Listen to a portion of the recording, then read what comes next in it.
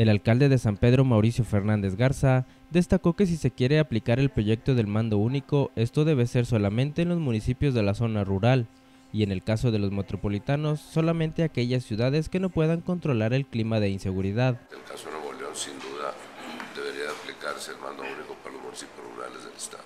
Yo no creo que ninguno pueda conseguir. No, yo creo que los metropolitanos lo tendrías que ver casuísticamente, pero para los rurales, pues sí aplicaría la subsidiariedad en decir, pues no pueden. O sea, y si no pueden, bueno, pues que les ayude alguien más. Y los metropolitanos, pues habrá ver quién puede y quién no puede. Para empezar, yo creo que deben de arreglar el camote que traen con Monterrey, que la mitad de Monterrey es municipal y la mitad es estatal. Pues ahí pónganse de acuerdo, ¿no? Si lo hacen municipal o estatal, pero ese sí es una aberración, ¿no? Estás hablando de un mando y ahí están divididos la mitad para un lado y la mitad para el otro. Eso sí se me hace una aberración. Y los demás metropolitanos, pues yo creo que cada caso lo tendrás que verlo en revisión. Eh, ahora, pues no sé, yo si estén politizando, ¿no?